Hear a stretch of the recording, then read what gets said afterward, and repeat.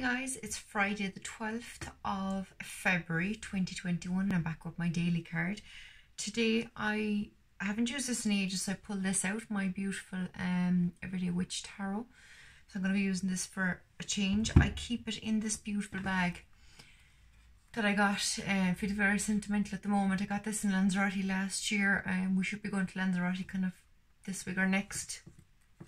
We always go in the midterm um, but obviously that's not happening. But anyway, what can we do? Um, it it does have a long bag. I just have it tied in a knot. Um, but there's a lovely small pocket in the front where I keep my crystals, and there's a, a bigger pocket then where I keep the deck.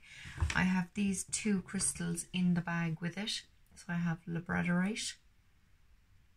Um, it's a dark green, but there's always beautiful blue shimmer in it when you kind of wave it around in the light and I have I got that myself somewhere but I got this beautiful um teeny tiny amethyst point from my friend I don't know if you can see it from my friend Danny. So that's in there as well because they're both to do with um, intuition and the crown chakra and, and spirituality and all that. So I'm using this and the card I picked now this was the card that came up as a clarifier yesterday so it's the Six of Wands. So we have this beautiful Six of Wands, okay? So this is about success. So again, success coming in. Now there is one dude in the back, uh, this guy here, with the red kind of auburn hair, um, who's looking a bit disgruntled by this woman's success. But look, that's his problem, not hers. She's worked hard for it. So again, this is just reiterating yesterday's point of work hard and don't be afraid of what other people will think.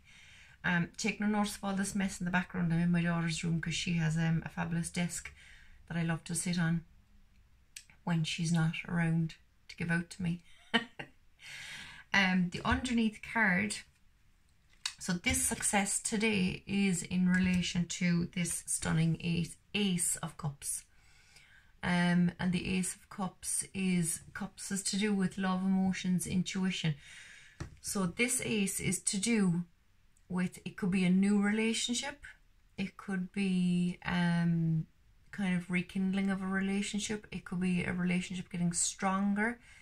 And um, because this is to do with intuition, it could be um,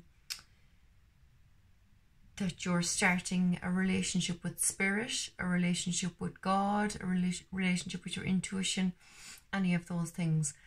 Um, because it's um, emotions. It could be that you've been successful in balancing your emotions. It could be that you there's a new beginning for you in relation to emotions. You might have gotten over something recently. Um, and this is showing that it is time to move on, that you have had the success in getting the balance of your emotions but don't leave other people now drag you down. Do you know? Um, make sure you do what you need to do. The red here would say to me root chakra, which is grounding, and the blue is throat chakra, uh, which is communication. So while you're having this success uh, in being grounded and and kind of new love and emotions, make sure you also keep the communication going to to keep this level of success you know. So that's my reading for today, peeps. Friday the uh, 12th of February. Um, thanks for watching. Please do leave a like and a comment. I love reading the comments and answering them. Thanks a million. Talk to you tomorrow. Bye.